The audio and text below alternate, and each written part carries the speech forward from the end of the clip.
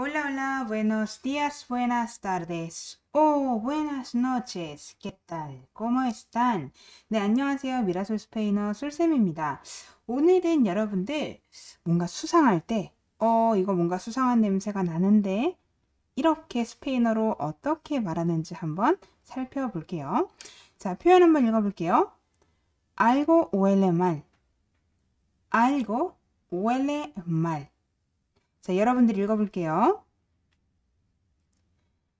자, 이거 직역하면 사실은 진짜 뭔가 안 좋은 냄새가 난다라는 표현이죠. 오엘레 하면 냄새 난다라고 쓰이고 말, 나쁜이란 뜻이니까요. 뭔가 냄새가 나쁘다.